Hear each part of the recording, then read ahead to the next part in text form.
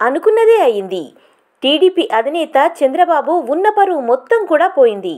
రెండు వేల పంతొమ్మిది ఎన్నికల్లో ఓడిపోయిన దగ్గర నుంచి చంద్రబాబు మీద ఎవరికీ గౌరవం లేకుండా పోయింది.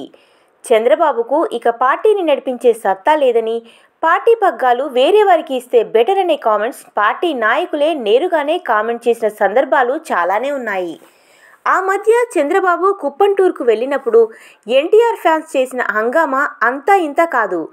ఎన్టీఆర్ జెండాలతో పార్టీ పగ్గాలను ఆయనకు అప్పగించాలని ఆయన అభిమానులు డిమాండ్ చేశారు. వారి నినాదాలను పట్టించుకున్నట్లుగా ముందుకు సాగారాయన ఇక వచ్చే ఎన్నికల్లో ఎలాగైనా పార్టీని అధికారంలోకి తీసుకురావాలని చంద్రబాబు భావిస్తున్నారు. ఒంటరిగా వెళ్తే జగన్ను ఓడించడం కష్టమని తెలిసిన ఆయన పవన్ కళ్యాణ్తో చేతులు కలిపారు.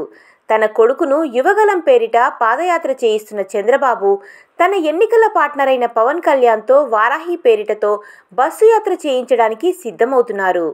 ఇక ఇదే సమయంలో తాను కూడా నియోజకవర్గాల వారీగా బహిరంగ సమావేశాలను నిర్వహించడానికి సిద్ధమవుతున్నారు. దీనిలో భాగంగానే ఆయన ఉభయ గోదావరి జిల్లాలపై స్పెషల్ ఫోకస్ పెట్టారు. మొన్న జగ్గంపేట నియోజకవర్గంలో బహిరంగ సభ నిర్వహించిన చంద్రబాబు నిన్న పెద్దాపురంలో కార్యకర్తలతో ప్రత్యేకంగా సమావేశమయ్యారు. అయితే ఇక్కడే చంద్రబాబుకు అసలు సమస్య వచ్చిపడింది. కార్యకర్తలు చంద్రబాబుకు ఉన్న పరువు మొత్తం తీసేశారు. ఓ కార్యకర్త చంద్రబాబుతో మాట్లాడుతూ ముందు మీరు రాష్ట్రంలో సొంత ఇల్లు కట్టుకోండి సార్ అంటూ చంద్రబాబును ఉద్దేశించి మాట్లాడారు. మీరు రాష్ట్రానికి టూరిస్ట్ లాగా వచ్చి వెళ్ళడం కాకుండా ఇక్కడే సొంత ఇల్లు నిర్మించుకుంటే మంచిదని చంద్రబాబుకు కార్యకర్త సూచించారు. ఊహించిన ప్రశ్నతో కంగుతిన్న చంద్రబాబు అలాగే చేద్దాం అంటూ ఆ కార్యకర్తను సముదాయించారు.